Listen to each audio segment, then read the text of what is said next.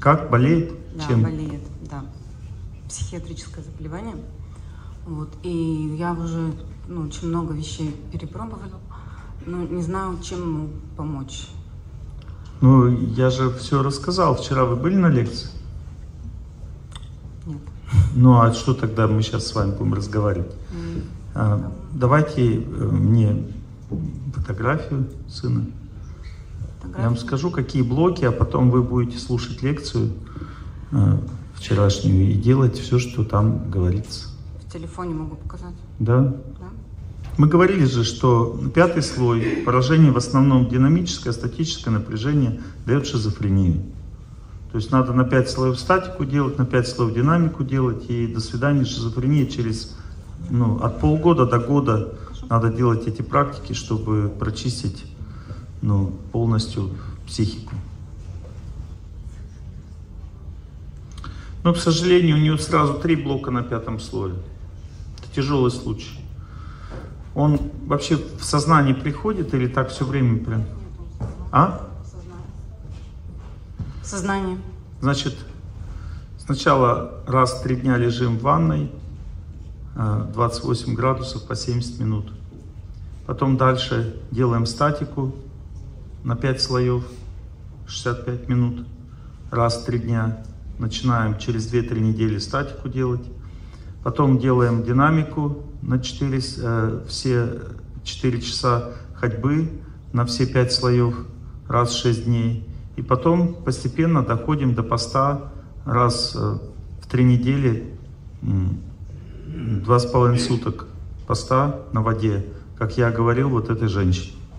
Если он все это будет делать в течение года, то болезнь вылечится. А как это делать и что это такое вообще? Вся, вся вчерашняя лекция, которую можно как-то взять у организаторов или такую же лекцию взять, допустим, из Перми или из Москвы, тоже, ну, из других городов. В целом у нас есть консультация по ЗОЖ. Начнется она в течение месяца, такая услуга. Стоит 26 тысяч рублей в рассрочку.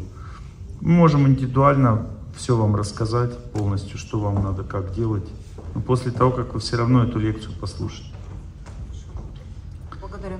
И можно вылечить эту болезнь без всяких проблем.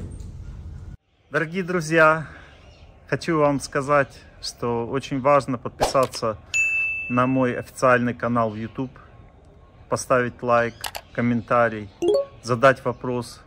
Мои помощники обязательно ответят вам. А также очень важно поделиться этими лекциями с другими людьми, потому что таким образом вы поможете мне в распространении знаний по всему миру.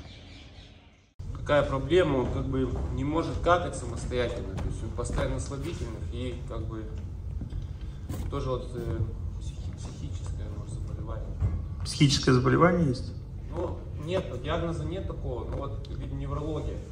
У него очень сильное статическое напряжение по всему телу, его надо в бассейн отдавать. Вот я с ним, да, вот это вот сейчас с этим занимаюсь. Вот, это раз. И э, длительное движение тоже хотя бы на два слоя с ним ходить. То есть это пол- ну, час сорок раз в 3-4 дня с ним вместе ходить. Вот. И все. Бассейн А и вот с ходить. кишечником как? А кишечник, э, там находятся блоки. Получается? На втором? На втором? Мгм. У кого срочно умираете, там, чё, вас, ну, спрашивать. А вон девушка на, на первом ряду. Добрый вечер. Спрошу, спрошу, не волнуйтесь, женщина. Я благодарю за эту возможность э, поговорить с вами. Но Дело в том, что вообще мне всю жизнь на самом деле сложно жить. Вот всю жизнь.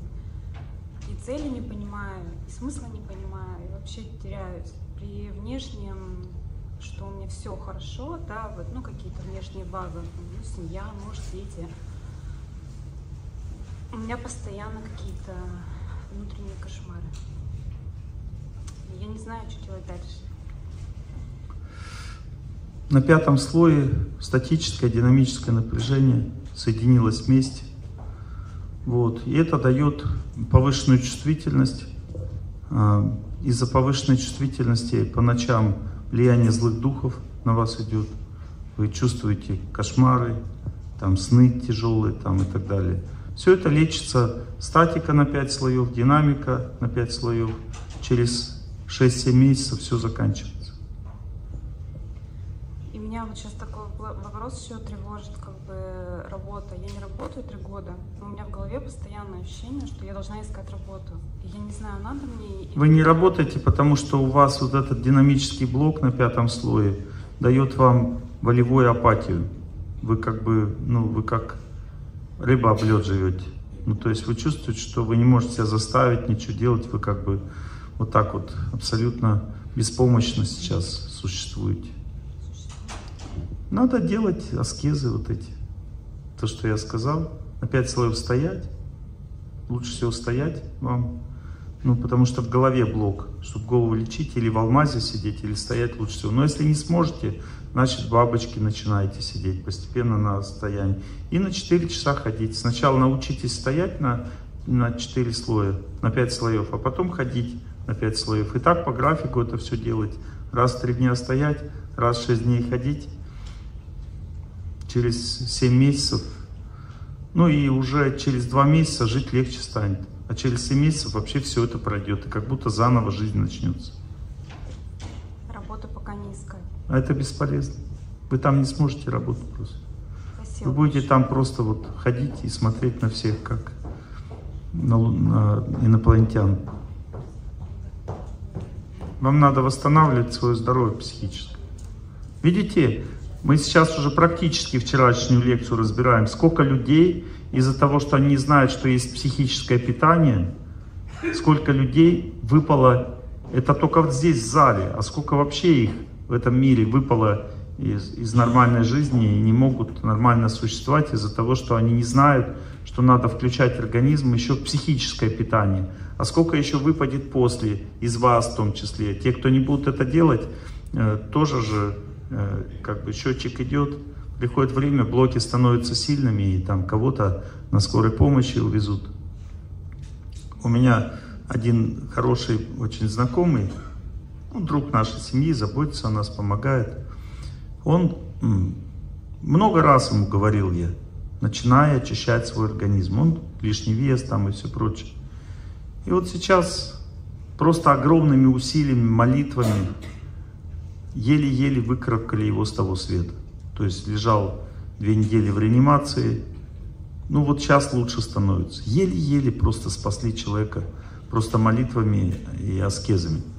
А так бы он точно бы ушел из жизни. Ну, как бы до поры до времени можно понаслаждаться жизнью, но надо учиться правильно жить. Не можете сами, нет сил, в клуб благость ходить. Они вам там помогут. Там уже люди такие, как бы закаленные, готовые, так сказать, менять себя. Ну, вот в возрасте женщин. Да? легче. Но у меня, наверное, все-таки физический недуг, потому что у меня два сына ушло из жизни на протяжении, ну, 9 лет и, и вот 5 лет. В прошлом году у меня... Взрослый сын, сыновья? Взрослые сыновья? Сыновья, сейчас бы им было 46 и 47, 48 лет. То есть они, ну, 42 года, 9 лет 30, назад ушел 36, и 5 лет назад 36 ушел. лет было сыну, он ушел из жизни. И ушел так, это как у меня, как обухом по голове шандарахнуло. Я через два года только ощутила его потерю. Ну, а второй сын ушел пять лет назад. Вот а в чем вопрос-то? А в чем вопрос? У меня вот именно вопрос в том, что вот именно вот 9 июля должен был день памяти, день памяти прошел, и вот с того времени у меня начал, как-то начался физический недуг. Какой? ну вот боль в пояснице, и потом у меня как щелкнуло, и вот все прямо пошло. И на самом деле у меня вот с июля месяца идет вот этот недуг. И вот Сколько вам лет-то? А? Сколько лет? Мне 71 год. Я человек так-то стойкий и физически можно сказать, и психически. Но сейчас я оказалась вот именно с проблемой вот этого позвоночника, я оказалась как птица в клетке. Видите, то есть есть э, психическое тело, оно на четвертом слое два блока, статическое и динамическое напряжение. А, копилось, копилось это все. И потом замкнуло на позвоночнике. И никакие лекарства не помогут, потому что проблема-то в психическом теле. Позвоночник не питается энергией нормально, в результате позвонки ослабли, там смещение произошло, нерв защемлен, и все, и приехали. У меня там, я даже не знала, что такое так можно быть, вот именно три компрессионных перелома. Я говорю, а как я ходила? Вот как я ходила, видимо, за счет силы воли или за счет чего. Ну, ну то есть, видите, позвоночник постепенно ослаб из-за этого, и все.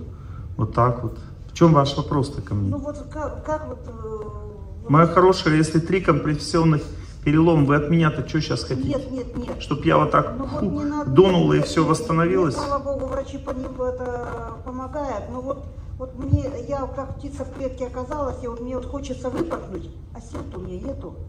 Как мне выпорхнуть из этой клетки? Вернуться к тому образу жизни, который был у меня. Мои хорошие, вот у меня просьба, вы слышали вот то, что она говорит? Вы должны заранее начать делать то, что я сказал вчера на лекции. Потому что когда уже три компрессионных перелома и 71 возраст, я не знаю, что делать. Лежать в ванне, начать убирать это статическое напряжение.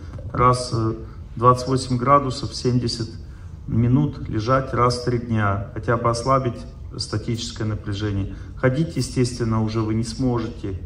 Вот. Хотя бы руками начать длительное движение совершать. Я не знаю, что вам сказать.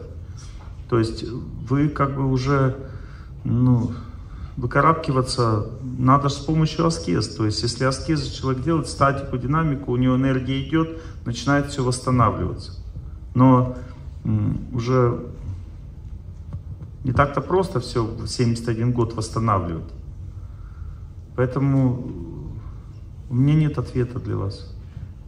Ну, спасибо, все равно я что-то для себя уяснила, хотя бы вот. То есть в воде лежать, пробовать неподвижное положение тела делать, хотя бы, допустим, у стеночки стоять до 52 минут доводить. Вы дадите энергию туда, чтобы это все восстанавливалось. Начнет все ныть, болеть.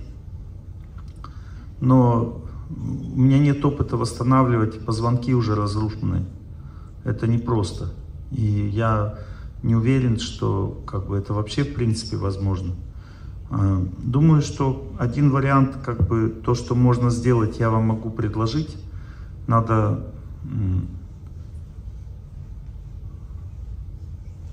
найти дерево липа или клен, бревно и положить себе под кровать. Основанием дерева к ногам, верхушка к голове. И это бревно постепенно будет, по крайней мере, статическое напряжение снимать. А статическое напряжение дает воспаление в организме. И воспалительный процесс будет гаснуть, будет легче жить как-то. Если какой-то, ну, найти какой-то способ, хотя бы руками, вот так длительное движение. Есть такие э, тренажеры, которые только руками человек может двигаться. Если хотя бы просто руками длительное движение совершать, больше, больше, больше, то можно в организм энергию давать, чтобы позвоночник постепенно начинал восстанавливаться. Этим-то я занимаюсь, руками, ногами болтаю, как говорится. А, вот согнуться, ну, слава богу, все равно мне уже намного легче. Я хотя бы даже вот, э, хоть выхожу. Вы можете на эллипсоиде, вот знаете эллипсоид, эллипсоид, знаете, вот руки двигаются и ноги вот так вот двигаются. Ну да, да. Можете да, на нем да, ходить? Да, сейчас могу. Можете, да? Да, немного Ну тогда отлично, тогда на эллипсоиде э, как можно дольше ходите, доводите, ну если просто идти человеку по улице, то 3 часа 20 минут очищается 4 слоя. Позвоночник на четвертом слое. Ну, пробуйте статику делать, на 5 слоев в ванне лежать. И домой приобретите эллипсоид, и на нем старайтесь раз в 5 дней по 3 часа вот так вот потихонечку двигаться. позвоночник начнет восстанавливаться. Ну, спасибо большое.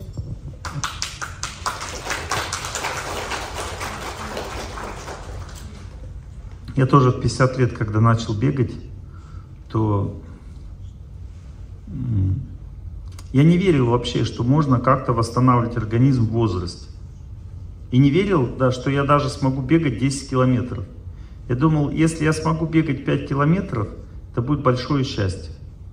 Я пробежал 500 метров и задохнулся первый раз. И бегал очень медленно. Медленно очень бегал. Мы с женой вместе побежали. Ну, я в ее темпе э, думаю, господи, я уже как женщина бегаю с такой же скоростью. Она иногда быстро шла, а иногда бежала. И я вот с такой скоростью ее быстрой ходьбы бежал фактически.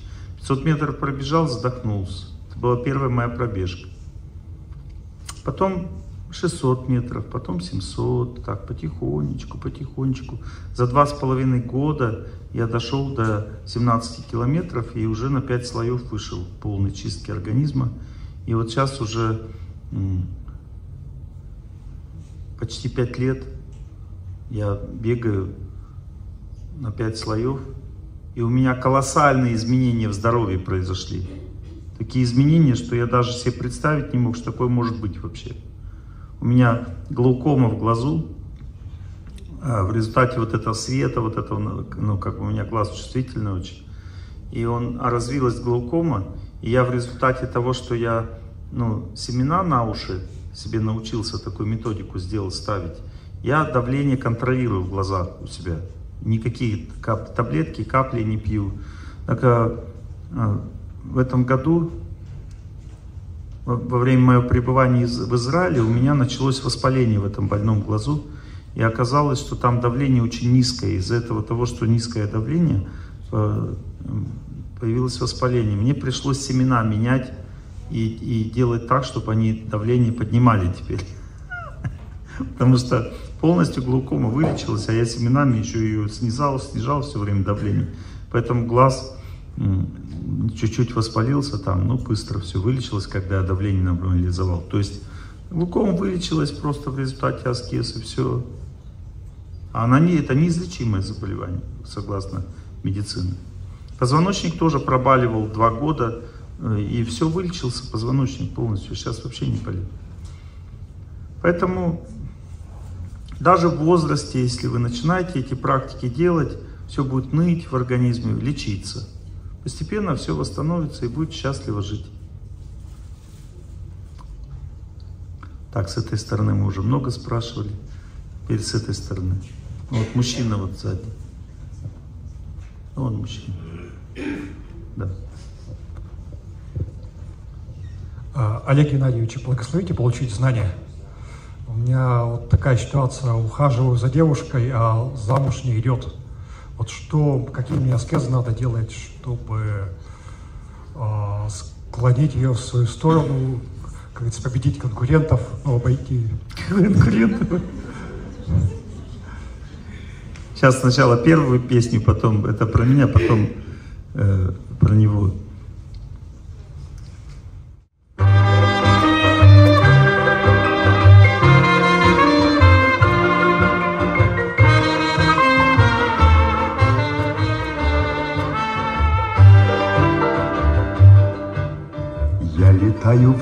Разные края. Кто же знает, где мы завтра будем? Дождик привожу в пустыню я.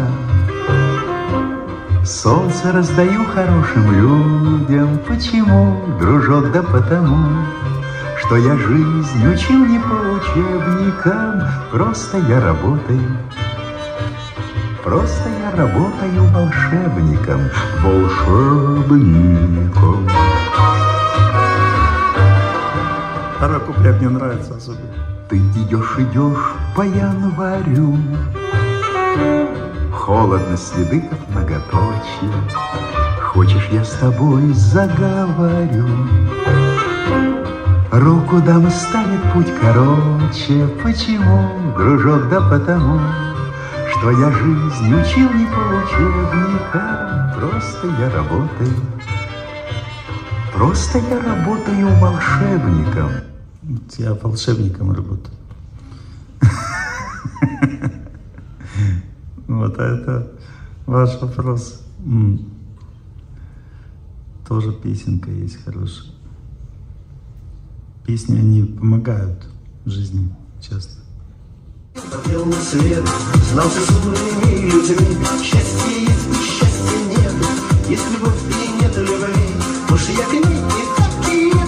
Словами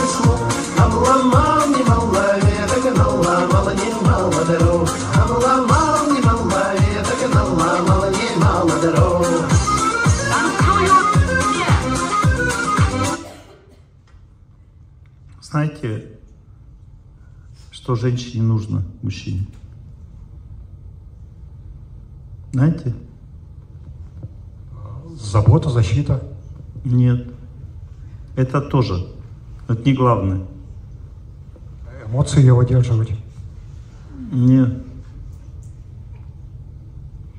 Главное, чтобы вы по ней не сохли.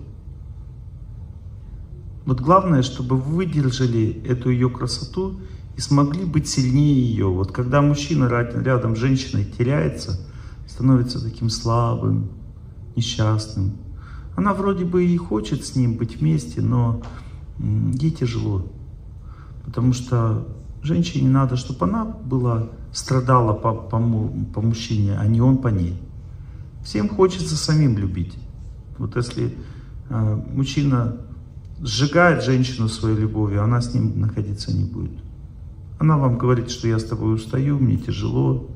Да? Почему? Сжигаю, значит. Да, потому что вы ее перепутали с Богом. Потому что есть вот такой Господь, который живет прямо в нашем сердце, находится, и Он такую интересную вещь делает. Если ты о нем думаешь, вот через святых людей, вот сегодня мы будем на лекции говорить, если молишься, слушаешь о нем, думаешь, помнишь о нем, то у человека удача приходит в жизнь. Как она приходит? Э, Человек э, может избавиться от проклятия, от э, неудачи. Вот, допустим, неудача женщины в том, что она, видя парней, начинает слабеть, чувствует, что у нее как бы нет сил сопротивляться, что она быстро в постель прыгает, теряет себя. И потом она никогда не может выйти замуж, она сразу становится неинтересной. Неудача бизнесмена заключается в том, что он слишком жадный, он хочет товар получить. Все от него, от этой жадности отказываются с ним, э, не хотят у него покупать, потому что чувствуют э, давление на себя с его стороны. Неудача парня в том, что он э, не может рядом с девушкой быть самодостаточным, сильным, он теряет себя, влюбляется, теряет себя. И все эти неудачи решаются с помощью памяти о Боге.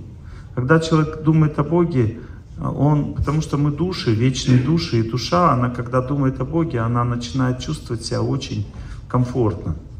Она чувствует себя уверенно, у нее появляются силы, она начинает чувствовать, что ей легко жить, у нее есть возможности. И вот все это ощущение, что я слабый, что я, ну, я завишу от кого-то там, что девушка, мне нужна вот эта девушка, оно проходит. Девушка нужна, в принципе, но... э, а вы скажите, где вы сидите на самом деле? А? У вас билетиков нет ни у кого? Вы, вы рассаживаетесь все, где хотите? Да? Занимаете места просто, да? Вам там комфортно сидеть? Вот там вот есть место, вон там вот, вот на, на четвертом ряду с той стороны. Хотите там сесть? Нормально?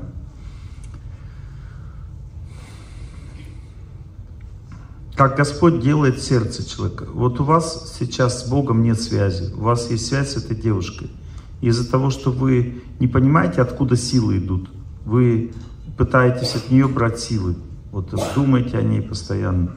От нее пытаются брать силы, а она сама зависит от Господа. Поэтому вы сгораете. Ну, то есть, когда человек привязывается не к тому объекту, к которому надо привязываться, он сгорает. Вот, допустим, мать сильно любит своего ребенка, допустим, она сгорает по нему, она теряет силы, становится слабой. Надо привязываться не к ребенку, а к Богу. И тогда ребенок будет защищен. Даже если он ушел из жизни, он будет защищен там, дальше, если думать о Боге, а не о ребенке.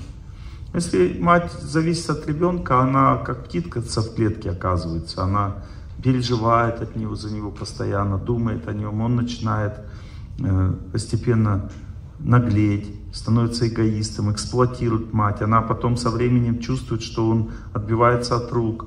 Она ничего с ним не может сделать. Он становится неуправляемым. Причина – привязанность к ребенку. А если мать привязана к Богу, то все наоборот получается. Она сильнее его, он от нее зависит, он начинает ее уважать, ценить, получать от нее знания, начинает чувствовать, что мама такая мудрая, хорошая, я ей горжусь, на нее равняюсь в жизни. Представляете, какие противоположные результаты? И поэтому в Ведах говорится, что человек, он не такой уж независимый, как нам кажется. Человек зависит от Бога, потому что Бог дает такую силу человеку в жизни, которая дает ему возможность нормально жить. Поэтому, если человек живет для Бога, он чувствует себя очень уверенно в этой жизни, он чувствует себя комфортно. Но как жить для Бога? Надо учиться этому. И ваша задача сейчас только в этом. Потому что если вы ну, как бы, э, девушка никуда не денется.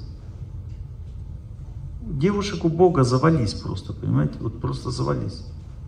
Самый худший вариант вообще, который может быть, это когда ты просто в нее так сильно влюбился, что без нее жить не можешь. Это самый худший вариант вообще, который только может быть в жизни. Почему? Потому что через сильную привязанность идет сильно, сильно судьба. Судьба действует через привязанность очень сильно. И поэтому все люди, которые вот сильно влюбились, там бразильский телесериал начинается. Обычно это заканчивается всегда еще до того, как человек как бы женился. А если даже он женился, еще хуже потом, потому что он потом так сильно э, психически от нее зависит, что рано или поздно она устает с ним жить, с таким человеком. И постепенно, постепенно бросает его. А он потом уже без нее вообще не может, он думает о ней, думает. Поэтому все люди ждут вот этой любви такой, жар, жар, жаркой любви такой ждут. А надо черпать счастье о своих отношениях с смыслом своей жизни. Потому что когда ты живешь правильно, нацеленно в жизни, у тебя счастье от своей жизни, ты чувствуешь, что ты не зря живешь. Надо чувствовать счастье от отношений с Богом, с людьми, дарить э, счастье близкому человеку и достигать другого, не вот этой жгучей любви, зависимости, как мужчина зависит от женщины, допустим, или женщина от мужчины, а достигать любви, э, которая называется любовь, светлая память. Ты чистую память культивируешь в человеке, верные, чистые, светлые отношения, тоже связаны с Богом. Если совесть есть в отношениях, они такими становятся. И тогда человек испытывает огромное счастье от того, что а, ну, ваша вот эта ситуация, вам надо очень сильно сейчас заняться своей молитвой и понять, что уйдет она от вас, не уйдет, сейчас не главное. Главное, что вы теряете себя, потому что даже если вы ее сможете отбить от всех конкурентов, то все равно, если вы себя не, не, ну, себя не обретете вот в этой ситуации, то исход потом всегда одинаковый. Он в песне поется. Я не буду словами говорить, но в песне все есть.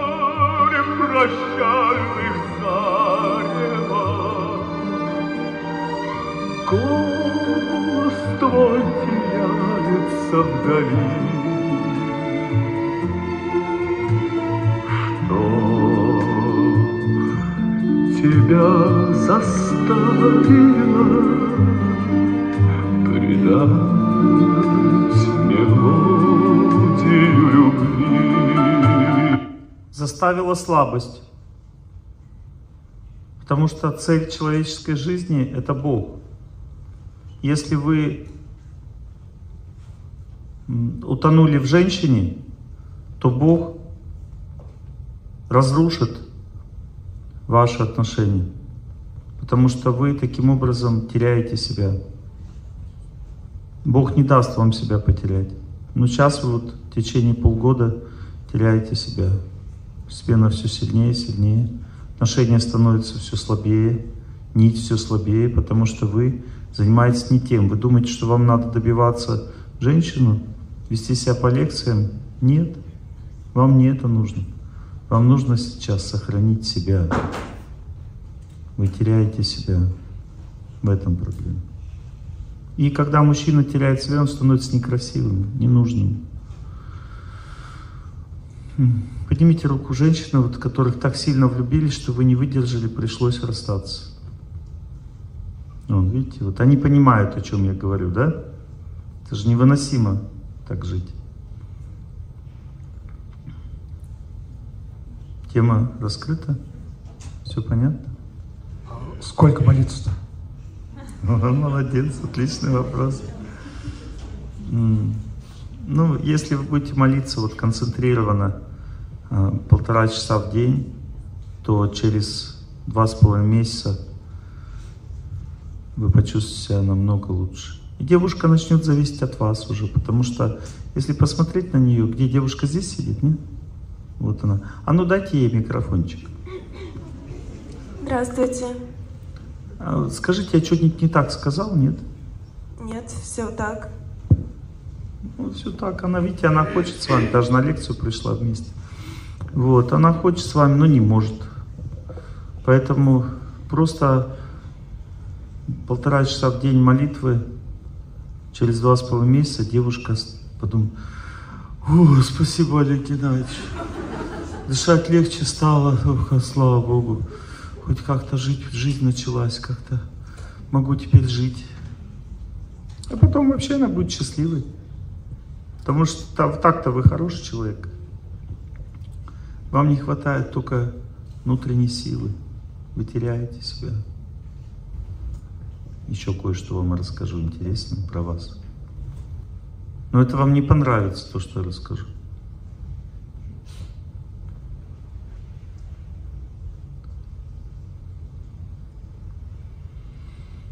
В прошлой жизни вы жили в раю.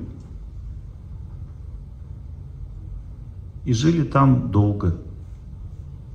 Продолжительность жизни у вас была э, где-то 320 лет. Там в раю и по 500, и по 1000 могут жить. Разные планеты. Но это не слишком выше Земли, там такая красивая планета, леса такие, природа. Может быть, она вам снится сейчас, я не знаю. Но вы там долго жили, и из них порядка 150 лет вы жили вместе с одной девушкой, которая ну, практически один в один похожа на вашу девушку, которую вы сейчас перед собой видите.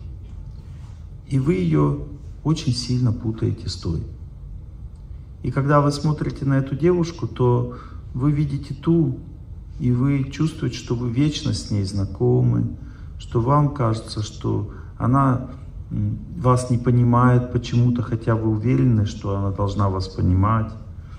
Вам кажется, что она вот та, что вам подарит очень много счастья, вот, но почему-то вот она дарит не так много. Вы живете той жизнью, той жизнью. И это для всех история очень важна, потому что э, почему он попал на землю, то есть с рая попал на землю, потому что он э, в человеке запутался в той жизни. Вот 160 лет счастливой жизни достаточно, чтобы забыть про Бога напрочь. А в рай никто не попадает, если человек не молится. Человек молился Богу, попал в рай, Бог подарил ему там хорошую э, семью. 160 лет вместе счастья достаточно, чтобы в следующей жизни получить очень сильно вот это чувство любви к женщине, которая похожа на ту. Но в чем заключается урок вот этого всего? А урок заключается в том, что никогда Бога нельзя ставить на второе место. Даже если Бог тебе подарил много счастья, все равно думай больше о Нем. Иначе будет только хуже. Вот Бог вам в этой жизни, на этой земле опять такого же человека подарил.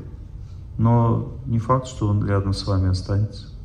И тогда у вас, вот как в этой песне, все будет в жизни, потому что вы будете вспоминать всю жизнь этим только жить. Вы больше уже не будете нормально существовать. Поэтому вам надо просто сейчас понять, раз вы тогда не смогли сдать этот экзамен, хоть сейчас сдайте его. Хорошо? Благодарю.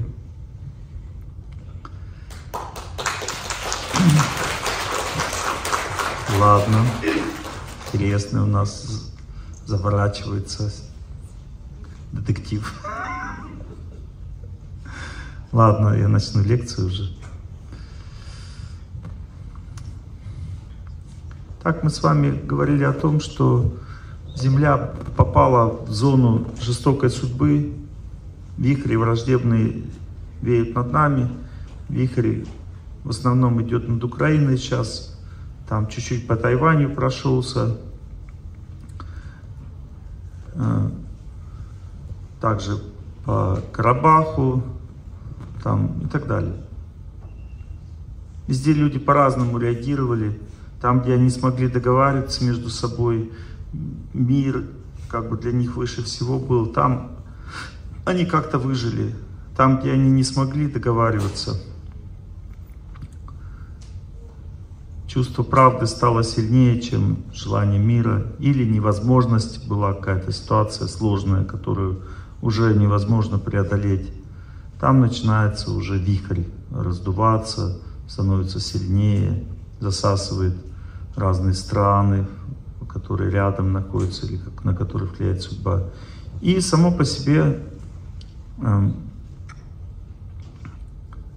жестокую судьбу на всей земле никто не отменял. Ну, в девятнадцатом году не было никакой войны, зато был ковид, и всех косило с помощью вируса. Она, жестокая судьба, может косить по-разному людей. И чем она отличается от обычной судьбы? Вот чем? Вот в обычной судьбе, если ты как-то правильно живешь, ты можешь надеяться на справедливость по отношению к себе. А жестокая судьба, она людей сталкивает с абсолютным беспределом. Ну, это вот касается нашей жизни. Вот я, допустим, здесь сейчас нахожусь, до этого был в Екатеринбурге. Везде мне жалуются, что ситуации какие-то возникают, которые м, абсолютный беспредел. Ну, то есть предательство, подстава, разрушение бизнеса там и так далее, и так далее, и так далее. Все это сплошь и рядом сейчас идет с людьми. Причина, так действует судьба. Как быть? Сохранить себя. Есть э, психофизический слой, когда он бьет, жестокая судьба бьет по психофизическому слою, то возникает рана такая в виде страха, чувства несправедливости или пессимизма. Какую рану легче всего, какая рана легче всего возникает и какую рану легче всего лечить? Как называется? Чувство несправедливости. Чувство, что все обидели меня, разгневали. Чувство несправедливости или статическое напряжение, то, что мы вчера говорили, это быстрее всего возникает и легче всего лечить. А следующая рана – это безысходность. Чувство, что не хватает сил, не, не получается преодолеть. Возникает позже чувство несправедливости. Э, сильнее этот блок, тяжелее лечить. Э, связано с энергией вечности, динамическое напряжение тяжелее лечить. Требуется больше времени, сил. Ну и самый последний, что может возникнуть, это э, разочарование в жизни. Смысл теряется в жизни. Это уже токсины копятся в организме. И еще тяжелее лечить, это поститься надо, поститься это. Я за любой кипиш, кроме голодовки, Олег Геннадьевич.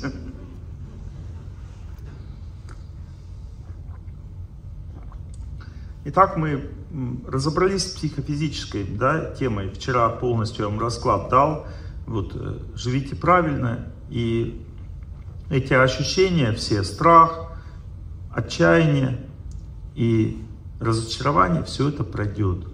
А кроме этого пройдут также и болезни. И вы, э, качество жизни станет очень хорошим. Будете чувствовать себя прекрасно в жизни. Делая вот эти вещи. Это гарантия от волшебника 100%.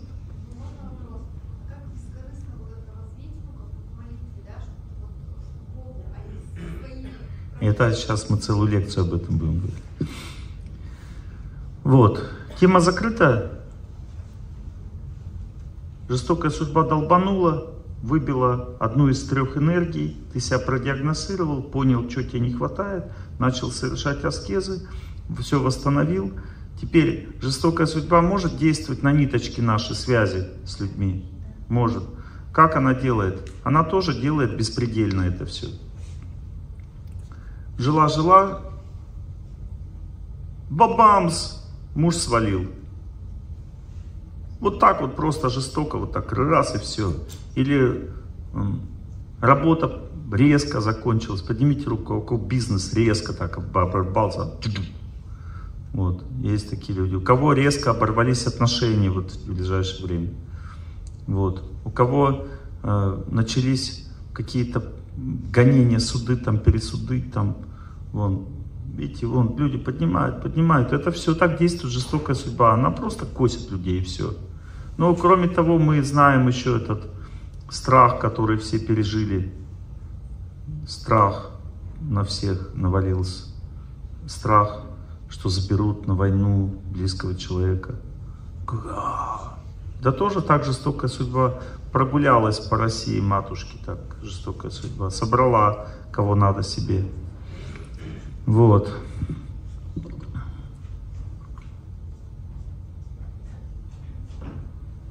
Это называется социальный слой уже. Как здесь быть?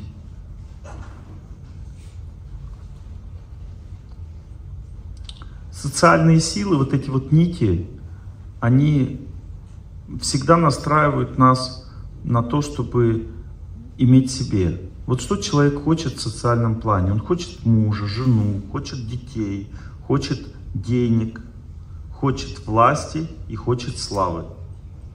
Вот это все мы хотим постоянно. Это социальный слой. Вот мы этого постоянно хотим. Никто не может сказать, что он этого не хочет в жизни. Или мужа, допустим, вы, допустим, скажете девушке, а я жену не хочу. Ну, значит, вы хотите мужа. Если он есть, значит, вы хотите хороших отношений с ним и так далее. То есть все равно эти желания остаются. И социальная сила означает не так, как вот мы с телом, что надо делать. Надо его заставлять совершать аскезы, и тогда ты будешь счастлив. Тело надо заставлять. Точно так же надо психику заставлять. Просто здесь немножко по-другому. Это называется закон противоположного действия. Ну, допустим, представим себе, человек просто торгует. Он продает товар, допустим. На чем основана его удача в жизни? Она основана на разнице между его желанием что-то хорошее материально сделать для людей, то есть накормить человека, дать ему какой-то подарок там, ну что-то хорошее сделать материально вот это. Если он торгует материально, значит материально. Да? Вот ему хочется помочь людям, да? И второй вариант, второе, что хочется, хочется, чтобы они дали денег. И вот если хочется, чтобы они дали денег, становится чуть-чуть хотя бы сильнее, чем желание помочь, то люди не хотят этому человеку давать денег, потому что от него прет жадностью. Ну, то есть, нескрываемая жадность. Ну, то есть, человек, который торгует, он, у него главное качество характера какое? Жадность. Он из-за жадности торгует.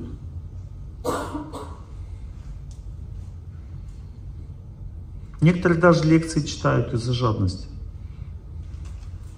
По, по цене билетов можно увидеть. И по поведению на лекции. Вот. Итак, а, жадность, да? И ну, человек торгует, у него жадность. Он не скрывает. Он говорит, я денег хочу. Теперь, как сделать так, чтобы продажи пошли?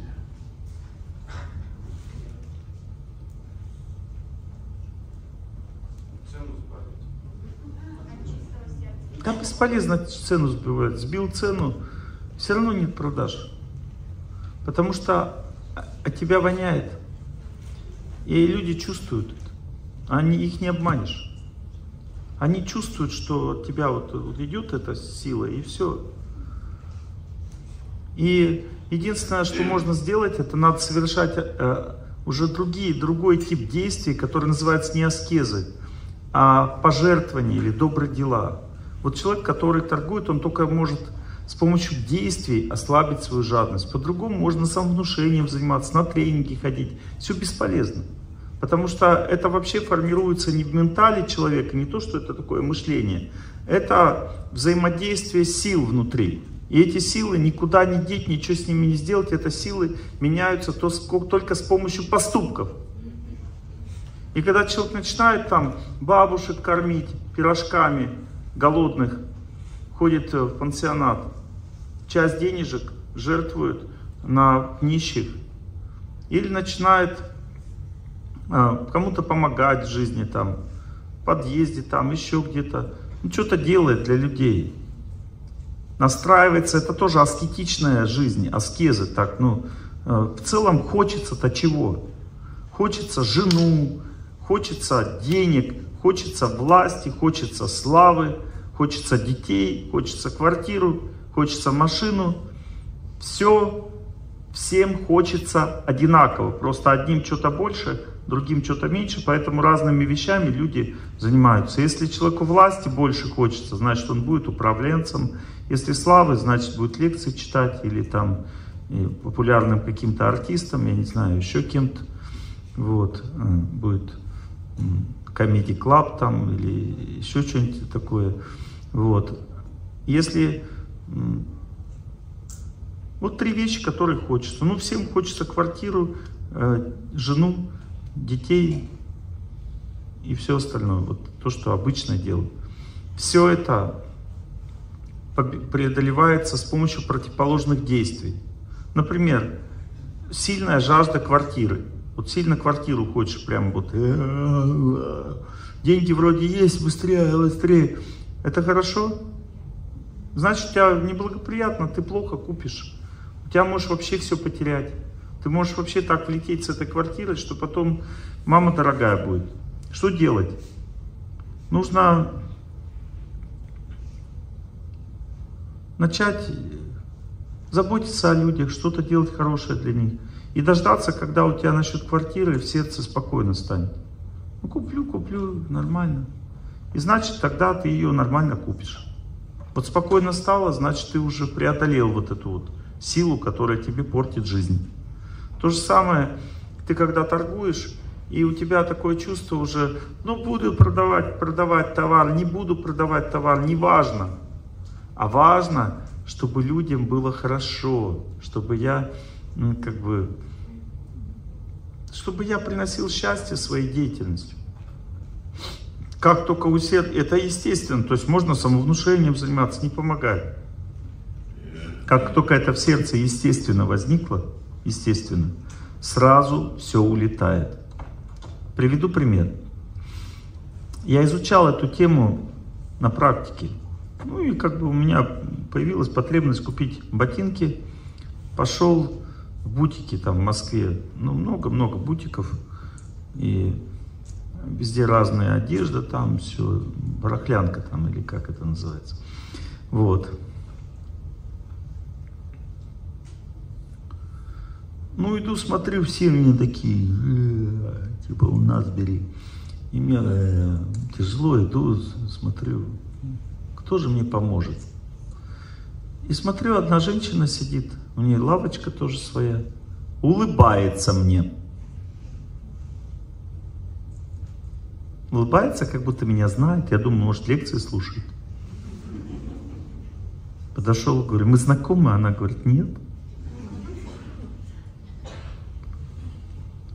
Я говорю, а где ботинки можно взять?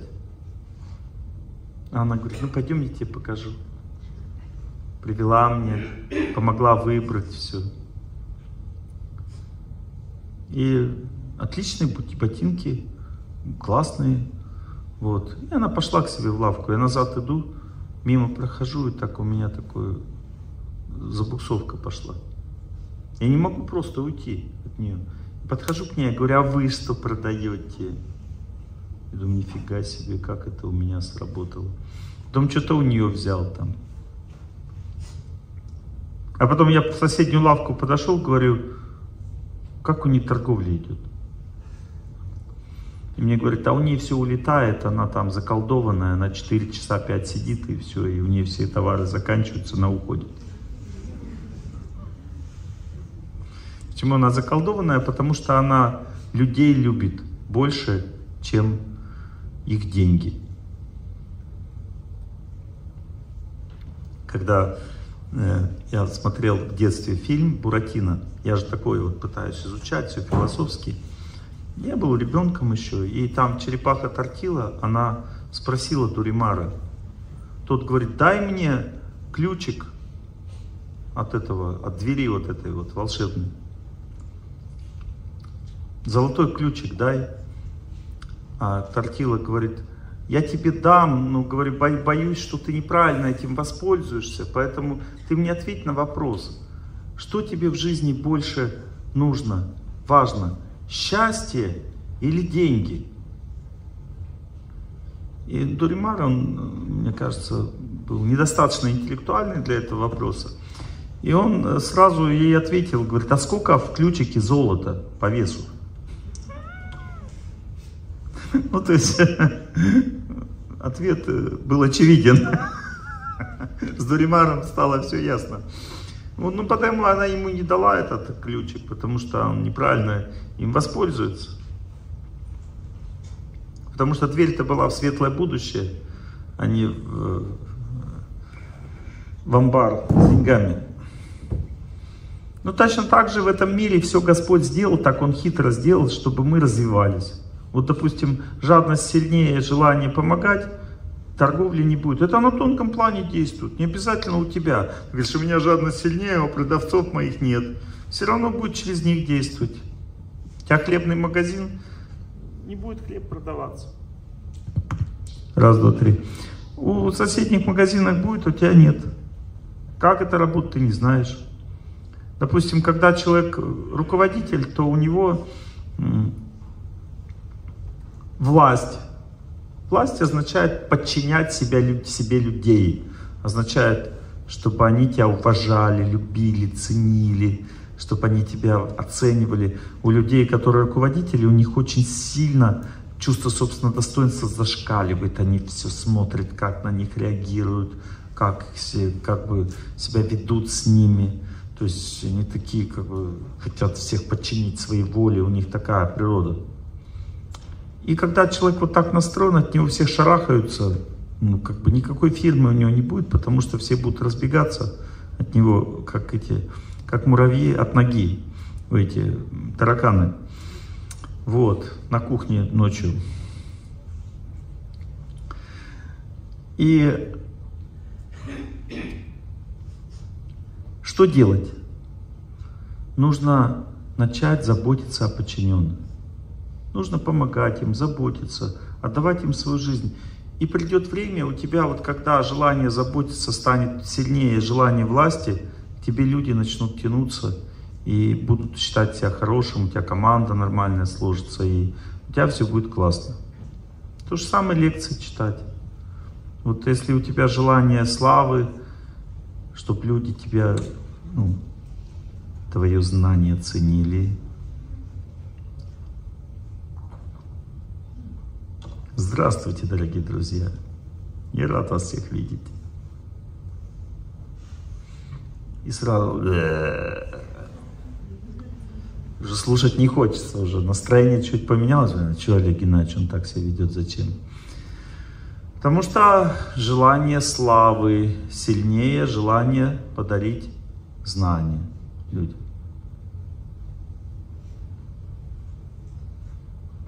Один, один лектор такой, ну он классно лекции читает в целом, народ не ходит на него. Он ко мне подошел, говорит, чего мне не хватает?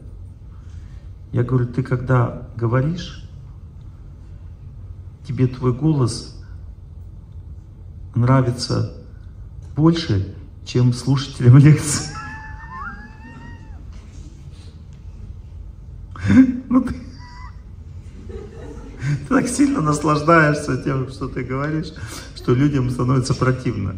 Он говорит, да, я ладно, я подумаю. Ну, то есть, если человек хочет быть успешным, он должен совершать жертву. То есть, естественное желание. Ну, почему человек э, лекции читает? Ему хочется славы.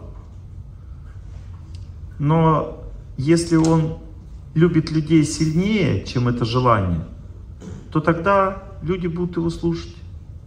А если он э, хочет вообще быть совсем успешным, он должен вообще посвятить людям свою жизнь. И тогда все будут вообще очень счастливы. Точно так же торговец, если он вообще у него есть миссия какая-то, вот допустим Сава э, этот Мамонтов, по-моему, Морозов, Морозов. Он же там и оперный театр сделал, там в России столько всего, э, там целую школу вот эту вот э, Станиславского поддерживал все вот эти великолепные артисты, они из-за этого спонсорской помощи появились. И поэтому у него все улетало, то есть у него все эти железные дороги, у него прекрасно все развивалось, потому что он был очень настроен на помощь людям, был меценатом. И у него вот это вот такое сердце горело служением, поэтому у него хорошо бизнес шел. Понимаете? социальные связи все поддерживаются, или социальная сила вся поддерживается именно вот этой аскезой. Допустим, муж ушел, допустим, жестокая судьба долбанула, муж ушел. Ну, естественно, женщина что думает? Муж ушел, надо что делать? Тянуть назад мужа. Другого назад искать Олегина. Отлично. Еще та ниточка не закончилась, уже следующую. Да вообще ничего не получишь. Вот муж ушел, и ты сразу и другого искать. У тебя та, еще та связь осталась в сердце, а ты уже другого искать. Как ты будешь его искать? У тебя сердце связано с тем человеком. Женщина же как ищет мужчин? У ней в сердце есть э, щупалец такой. И он всем говорит, я свободная, свободная я. Такой как бы энергетический, такая ниточка, и она на конце обрывается. Ну такая, как, как это, ну в космосе видели, как присоска такая соединяется, соединяется, и все. И семейная жизнь там уже как бы образуется, союз Аполлона соединились. Или, допустим, самолет летит, там это вот тоже так ищет, ищет, ищет, и бензин пошел. Вот. Ну, примерно так, на тонком плане. И ей этой ниточки все равно, женатый он, не женатый. Она вот э, ходит и смотрит. Ловись рыбка, Лучше большая, чем маленькая. Вот. Ходит и смотрит, улыбается, живет так вот. И рыбка какая-то, оп, сердце, ну как бы, совместимость такая. Рыбка такая, заинтересовалась. И она сразу чувствует, поклевка пошла. Мужчина думает, может она не знает, что я ее люблю. Она знает, но ты не подходишь просто.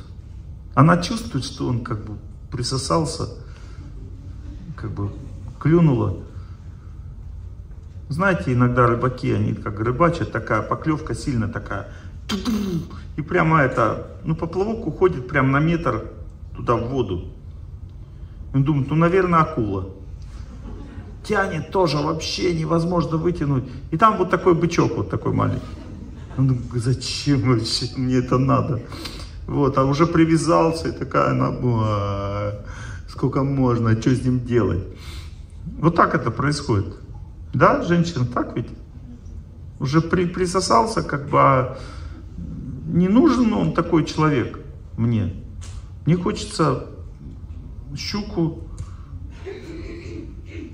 сама какого-нибудь, а тут бычок вот такой. И клюнул-то как сильно.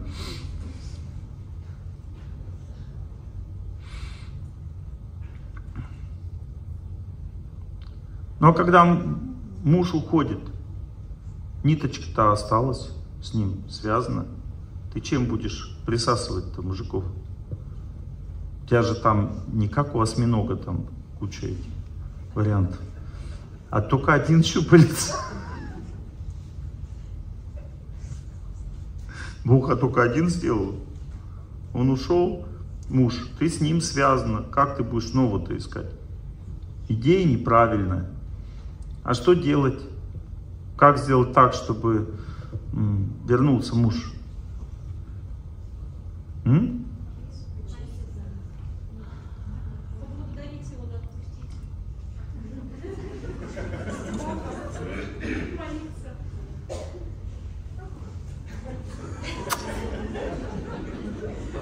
К обеду не жди, твой песик. Я тебя не держу, не держу, не держу. Так а ты не сама держишь, не держишь, это Бог вообще людей держит. Это Он создал эту ниточку, связь, эту, это Бог создает. Причем ты отпустить. А как ты его отпустишь? Это Бог тебя держит. Я тебя отпускаю. А он не отпускается, гад.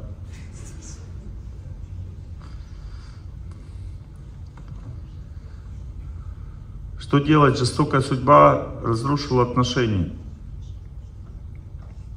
Какая аскеза, какая, какие добрые дела нужно совершать, чтобы восстанавливалась семья? М? Надо помогать людям, Вот человек, он сильно очень скован на себе в это время. Вот муж ушел, и она начинает думать о себе, о своей жизни, и днем и ночью думает о себе. Чтобы разорвать этот порочный круг, то есть она штопором пошла вниз. Судьба долбанула, и ты штопор. Как из штопора вырваться? Две помидорки берут, выкапывают из горшочка. В горшочке, он думал, там целая вселенная помидорка, думала, там так классно, а там очень мало места. Ее выращивали в горшочке, чтобы пересаживать. Она не знает свою судьбу. Она думала, сейчас в горшочке обустроюсь, а для помидорки корни, вот земля, почва, это ее жизнь вся. Ну, как для нас гражданство, допустим. Вот. И она там обосновалась как бы в этом гражданстве своем э, российском. Вот. Там. И тут раз тебя выдергивают и в Казахстан. Ну, то есть вот ее выдергивают, две помидорки, и сажают в хорошей земле, нормальной земле сажают, но незнакомой. И она не умеет там всасывать пищу еще из этой новой почвы, у нее нет навыка. И обе помидорки, они так э, и завяли сразу же, почувствовали себя плохо, потому что все хреново, жизнь поменялась. Но одна помидорка, она очень сильно тосковала по горшочку по своему. И думала, теперь уже ничего хорошего не будет. А вторая помидорка, она так подумала, ну как бы везде же помидорки живут. И надо как-то вот, э, забыла про себя, начала всем желать счастья. Оторвалась вот от своей вот этой реальности э, помидорной. Вот. И вот та первая, она уже ее потом вообще даже не нашли. Она завяла, высохла и сгнила через два месяца. А вторая, у нее уже огромные большие помидоры, она такая большая, выросла красивая. Через два месяца она уже забыла, что ее пересаживали. И в все теперь классно. И вот это и есть отправная точка, понимаете? Или ты засохнешь, или ты расцветешь. Ты можешь оторваться от своей памяти, от своей несчастной жизни, или не можешь. Единственный способ оторваться, это начать делать кому-то что-то хорошее. Вот, допустим, я разок из Красноярска, в Красноярске вышел из дома на лекцию поехать, и машина не пришла сразу. Ну, я же, надо что-то смотреть, для лекции же материал надо собирать. И я смотрю, скворечник. Ну, такой, бутылочка висит такая на дереве. Там дырочка, внизу семечки, и воробушки подлетают, по семечку берут. И я смотрю, семечки кончаются минут за 20, наверное, за 30. Потому что очень активно идет э, подклевка, так сказать. Кто-то, значит, постоянно подкладывает, значит, кто-то смотрит за воробушками. Я смотрю в окна, вижу, сидит бабулечка, красотулечка. Смотрю на нее судьбу. Дети разъехались, мужа нет. Жить нет для кого. Есть два варианта. Или сдохнуть, или кормить воробушков. И она такая счастливая, она смотрит, как они клюют. Это ее сейчас смысл жизни. И слава Богу, что она отключилась от того, что у нее никого нет, никого этого человека нет. Просто она одна. И она вот живет вместе с воробушками, кормит их и счастлива. Почему? Потому что она смогла переключиться. Когда жестокая судьба бьет, она что тебе делает с тобой? Совсем один. Один, совсем один. То есть человек чувствует пустоту. Он чувствует, что он никому не нужен. Он в каком-то таком пространстве оказывается, в котором нет никого вокруг. И поэтому мы так и говорим, приходите в клуб «Благость». Сразу же вы окажетесь среди людей, которые вас поймут, будут вам радоваться. Человек должен вырваться из этой западни с помощью добрых дел. с помощью служения другим. Самое простое доброе дело, бесплатное, какое? Не надо вкладывать деньги, ничего.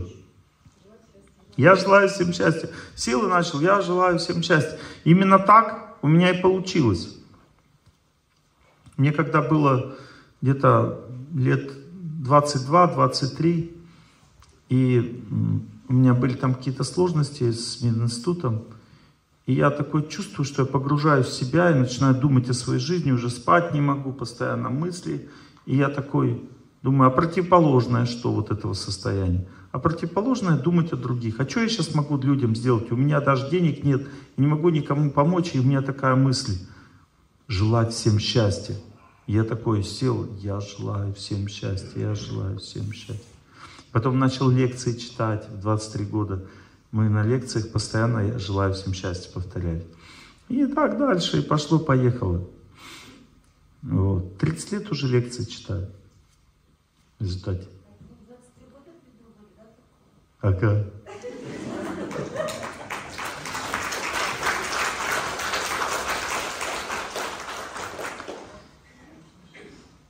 И а, это вот знание, оно потом постепенно раскрылось в сердце, что э, человек, который попадает в жестокую судьбу, он попадает в тиски памяти. Она заставляет думать слишком сильно о себе. Постоянно о себе, о себе и о себе. И что с человеком происходит? Он теряет себя, разрушает свою жизнь. И что надо сделать? Восстать надо. Причем есть разные варианты восстания. Например, женщина не может выйти замуж. Надо заботиться, любить всех. Надо... Что такое замужество? Вот для чего женщине дают мужа? За какие такие заслуги? Женщина — это человек, который любит людей, запомните. Женская красота означает любовь к людям. Вот мужики людей любят или нет? Кто людей любит? Ну, ладно, это вы, значит, развили в себе это. А женщины, они все любят людей, само собой. Вот, допустим, человек э, лежит на дороге, женщина не пройдет мимо, понимаете, он лежит, она будет, что с вами? А, начнет интересоваться. Понимаете, мужики проходят там, а, лежит, лежит, что? Наверное, сдох. Или почти сдох. А женщина, она сразу так, давайте там скорая помощь, все. Женщины любят людей. И поэтому женщине Бог дает человека сначала одного, потом из нее другие вылазят.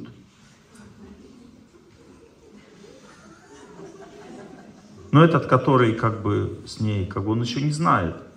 Он думает, я вот девушку полюбил, э, а она, оказывается, к маме сильно привязана, тебе придется с мамой дружить. А если у нее собачка, значит, будешь собачкой жить тоже. А потом из нее начинают вылазить еще другие люди. А какие вылазить будут, ты не знаешь. И тебе им всем придется служить. Готов? Готов. Отлично. Видите, мужчина на все согласен что сапфиры и алмазы, жемчуги и бирюзу. Все отдать готов я сразу за красивую глазу.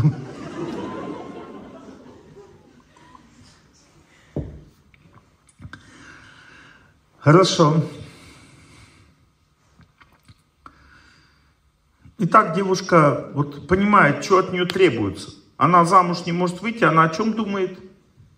Хочу э, такого человека, чтоб не пил, не курил, цветы всегда дарил, тещу мамой называл, там был к спиртному равнодушен, в беседе был не скушенный, к тому же, чтобы он и красив был, и умен. Вот. Она думает, думает об этом, и она что получит? Комбинацию из трех пальцев она получит. Вот, потому что она не тем занимается. Чем она должна заниматься? Она должна начать делать то, что ей хочется. Ей хочется заботы, ласки, любви, внимания. Вот она должна о всех людях заботиться, ласково себя вести со всеми. И внимание всем оказывать. Как в Морозко, да? Вот, да, да, в сказках же все есть. И Золушка тоже. Золушка. Она же всех служила, и она кого получила?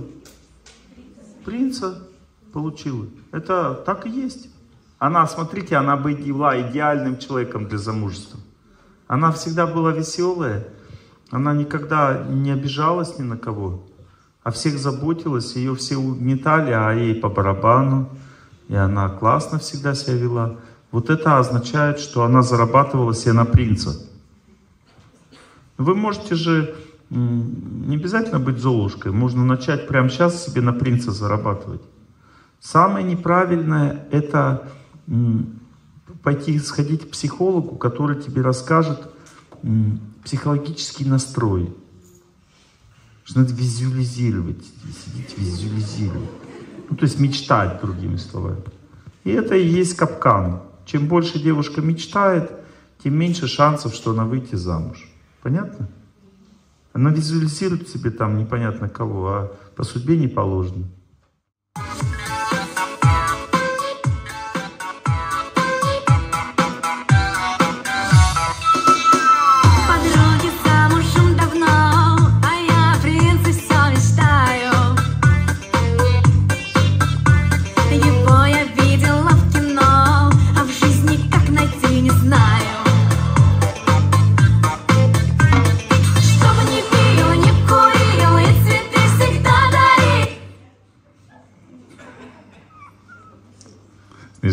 Хорошие. Смешно-то смешно. Итак, заботиться обо всех. Всех любит, заботиться. Что дальше? Она проходит определенные стадии. И когда у нее желание замуж становится слабее, чем ее заботливость, в этот момент она первое, что начинает чувствовать, она чувствует, что ей так хорошо, не замужем, она прекрасно живет, потому что много людей вокруг, она заботится, и все счастливы, ей дают обмены, она такая, ей жить уже самой хорошо. Как только самой стало хорошо, сразу она стала красная девица, у ней сразу щечки румяные, она такая самодостаточная, и парни начинают смотреть. Почему они начинают смотреть? Потому что пока она сохнет, и она никому не нужна. А как только она начала самодостаточной быть, сразу всем понравилось. Все. А потом еще надо быть сильной, чтобы выдержать вот этот удар судьбы. То, что на тебя смотрит, ты сразу не поддалась. А как вы помните в этом фильме девчата, да? Он ей манит, а она его. А, не на то дорвался. Значит, у него будут проблемы. И она от него не зависит, и радуется. И он потом... Бобик сдох. Вот. Итак, социальные связи. Мужа рубануло. Желаю всем счастья. Заботься обо всех. Выйди сначала из штопора. Потом, конечно же, молитва. Что такое молитва? Правда, молитва действительно очень сильно помогает.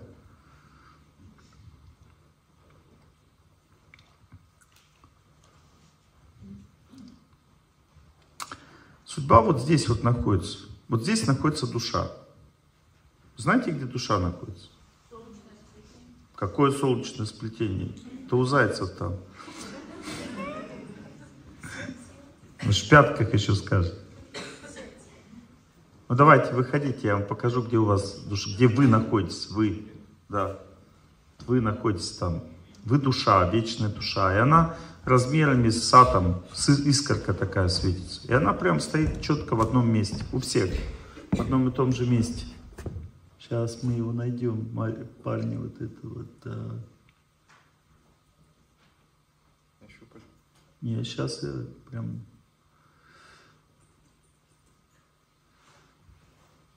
Вот, вот здесь душа находится. Вот я сюда нажимаю не очень. Да, вроде нормально. Нормально? Ей душе нравлюсь я, поэтому она не против. Все, запомнил? Все, иди. Всех там. Всех вот там, в этом месте, запомнили? Вот там душа, вечная душа находится там. Когда душа выходит из тела, она может двигаться. Если она двигается вверх, она уходит в рай. Если она двигается вниз, уходит или через солнечное сплетение, если выходит, то уходит на землю опять, а если ниже идет, то в ад. А куда она уходит, это зависит от добрых или злых дел, они перевешивают. Если добрые дела, всем счастья желала, про себя забыла, жила для других, значит, в рай. А в ад жила для себя, о Боге не думала, грешила, и все, тогда в ад.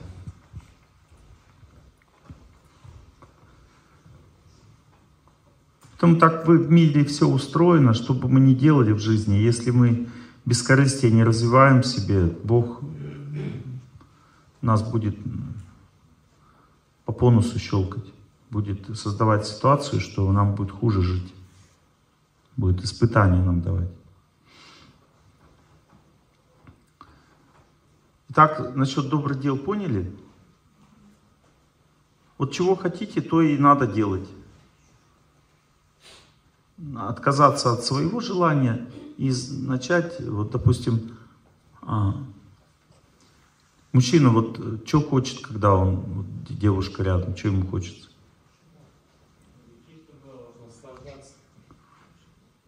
Он хочет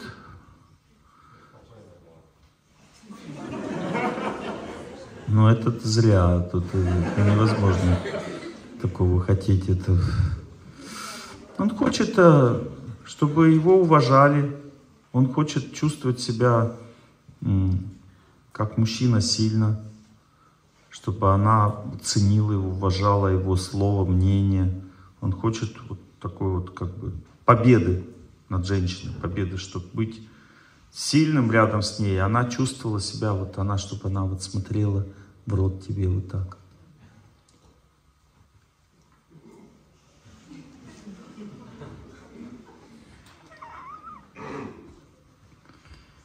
Ну и стань таким, стань сильным, стань развитым, стань крепким, стань выносливым. И когда ты уже таким станешь сам, Тогда так на тебя и будут смотреть. Некоторые женщины пытаются доказать свою силу, там заставляют. Тогда это вообще безумие. И если станешь таким, так она тебя будет уважать. Не станешь, не будет. Женщина вообще опасно жить. Потому что если ты не станешь сильной, так она тебя заставит будет мучить тебя, пока сильным не станешь. Это они такие, как бы, такие добренькие на первый взгляд. Я домой приезжаю, пока езжу, как бы я самостоятельный человек. Когда мы приехал, полный контроль. Ну, ничего у меня не падает, просто у меня нет своей жизни. Я пришел домой, все, она полностью контролирует. Так, ботинки сюда, это туда, за стол, спать, уже поздно. Интернет вырубает. Если я сижу, она... Все, спать, значит.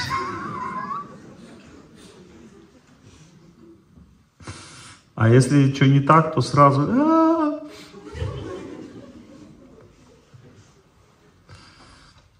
У вас что, не так, что ли? Чего вы смеетесь? У нас, Олег Геннадьевич, еще хуже.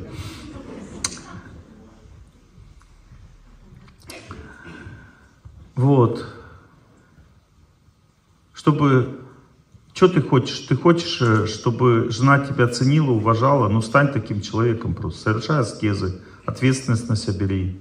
Учись быть сильным, отказывайся от своих желаний каких-то. Если ты с женой, допустим, конкурируешь, а, ты чего столько на диване лежишь? Женщине, если ты это говоришь, то что, хочешь столько же лежать? Ну, в следующей жизни родишься женщиной, будешь лежать. А в этой ты мужчин надо работать.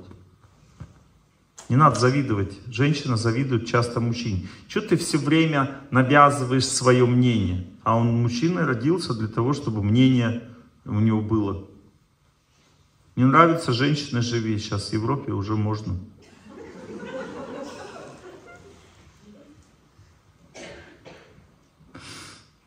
Она не будет ей мнение навязывать.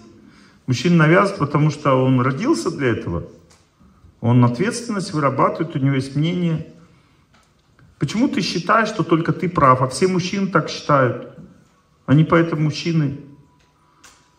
Ну вот и уважай его за то, что он мужчина. А женщину надо уважать за то, что она женщина. Вот она, допустим, нуждается во внимании. Очень чувствительное существо. Одно не то слово не так сказал, все, обида сразу. Аккуратно разговаривай с ней, веди себя спокойно, ласково. Тебя же никто не заставлял ее замуж брать, сам взял. Вот и ходи, аккуратненько себя веди.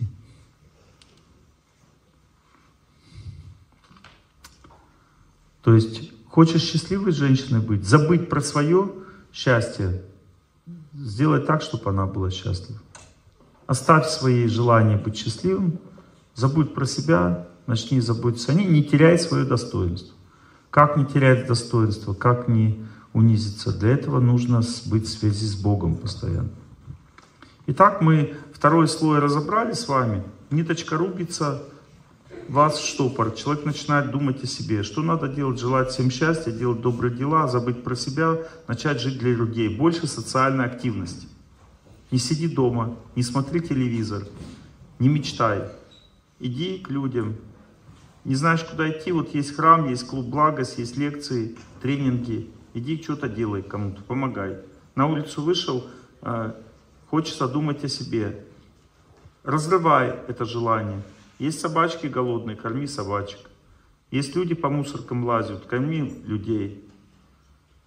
Делай что-то для других.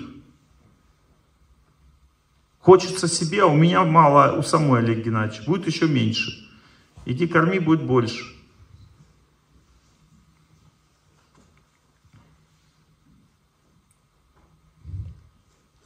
Это социальная сила, означает опять себя заставлять, опять выходить из зоны комфорта, опять преодолевать себя. Теперь самое сложное, то, что я сейчас буду говорить дальше в лекции, это самое сложное вообще для понимания, самое сложное. Это высшая цель человеческой жизни. Высшая цель человеческой жизни. я как-то начал задумываться, что меня толкнуло вот этим делом заниматься, вот тем, чем занимаюсь, что во мне такое сидит, что это горит во мне такое, что я вот езжу, постоянно лекции читаю, молюсь, там, что такое горит во мне. В прошлой жизни я этим не занимался. Позапрошлой жизни я этим не занимался. Позапозапрошлой жизни я этим не занимался. А вот 11 жизней назад, точнее 12, и это я в молитве увидел, 12 жизней назад я встретил человека, который светился, он плакал от любви к Господу, я прям вижу эти слезы. Он его аж трясло от вот этого вот счастья в отношении с Богом. И буквально несколько минут вот пребывания рядом, и меня так пробило вот это состояние любви к Богу, что эта память осталась в сердце навсегда. И она начала вспоминаться сейчас в этой жизни. И вот это вот ощущение желания святости, чистоты, оно с детства вот в сердце как бы чувствуется, что вот надо что-то такое в жизни делать. Постепенно пришло знание, раскрылось знание, что это есть самое главное в жизни человека, это светить, встретить святого человека. То есть Бог сам не откроется. Нужно через икону как-то постичь святость. Сергий Радонич, там, Серафима Саровского, Мать Терезу – ну, святого человека повесить себе на стену, мысленно кланяться ему, думать о нем, молиться ему, чувствовать, пытаться почувствовать его, понять. через Священное Писание, Святую книгу, через э, поклоняться, пытаться постичь эту чистоту, глубину. И когда человек вот эту чистоту и глубину начнет чувствовать, то дальше все в жизни поменяется. Все станет по-другому. Итак, э, когда судьба плохая, жестокая действует, что она захватывает в нашей жизни? Что она захватывает? Что? Память человека она захватывает. Самое главное, запомните, это память. Вот как определить, допустим, что у человека тяжелая судьба? Да нет, это все не то. Память захват это неплохая память. Вот смотрите, допустим, вот если человек, допустим, живет, и он ну, в основном не думает о себе, а просто ему хорошо. У него хорошая судьба или плохая? Хорошая. Вообще не думает о себе. Как только пришла какая-то проблема, человек начинает о чем думать? О себе. А если он целыми днями думает о себе? А вот если вы сейчас лекцию слушаете, вы слушаете лекцию, хотите включиться, но не можете включиться, потому что сильно думаете о себе. Поднимите руку, у кого такая ситуация. Это тяжелая судьба. А если вы не можете спать даже или заснуть, все время думаете о своей жизни, о себе, это значит, вот она, что ни на есть тяжелая судьба, все это определяется по памяти. Как определить, у меня легкая судьба или тяжелая? Определяется с помощью памяти.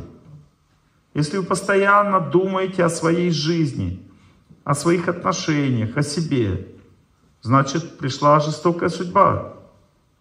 И вы прикованы к себе постоянно. И эта же методика, она, она применяется и в вопросе победы над судьбой тоже. Знание об этом, о памяти. Память это главное у человека в жизни. И что может оторвать память от себя? люди не знают, как Антона поет. Новая встреча лучшее, средство от одиночества. Вот, он поет. Не факт. Человек, допустим, потерял близкого человека. А, Ты моя мелодия, дала тайна долгого пути. Ну, как бы, девушка любимая ушла, ты хоть встречаешь, хоть не встречаешь, в сердце память остается, тебе уже ничего не надо, ты такого не найдешь себе. Потому что новый человек не решает вопроса. Вопрос решает только Бог. Потому что как только э, любовь к человеку имеет горячую природу и больную, мы болеем людьми, болеем друг другом. Понимаете? Человек больным становится, у него поднимается температура, жар в сердце. Сердце гибнет у человека, гибнет, понимаете? От, от человека, от другого. От Бога что происходит? Легкость, чистота, радость свобода при контакте с Богом. Или и человеку вот это сто лет не надо. Мы такие тупые. Нам вот эта легкость, радость, чистота, спокойствие. Сто лет не надо. Нам надо страдать от человека, понимаете? Мучиться, а?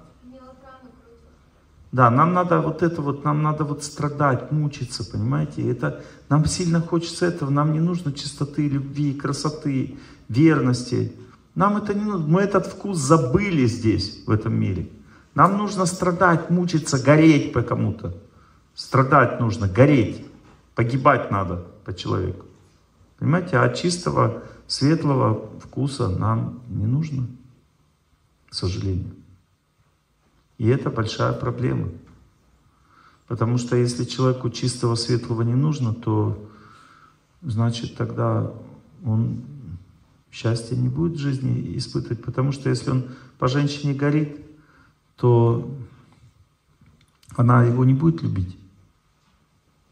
Для того, чтобы у тебя все хорошо в этом мире было, тебе нужно сердце, чтобы было легким, чистым, светлым, радостным. Память о себе должна быть минимальной. Память о себе сжигает жизнь.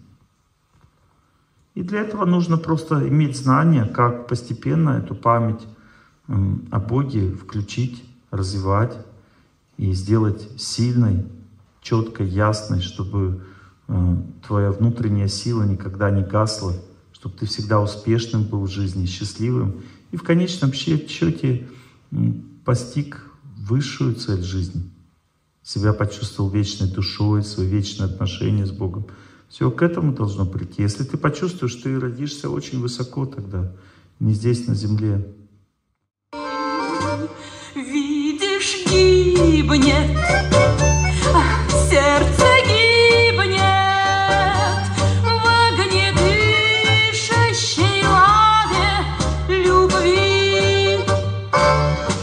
попугай грозил загадочно пальмовой веточкой, а город пил коктейли пряные, пил и ждал новостей. Вы называли меня умницей, милой девочкой, но не смогли понять, что шутите вы с вулканом страстей. Помоги мне, помоги мне, в желтоглазую ночь позови. Позови меня.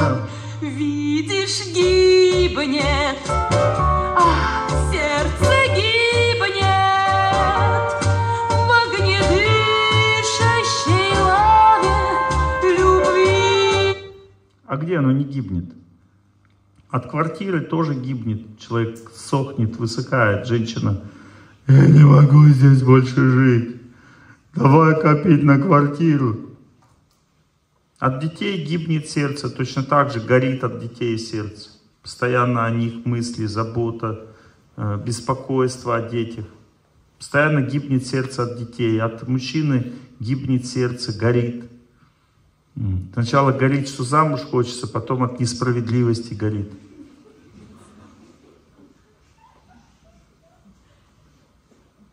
Без машины сердце горит.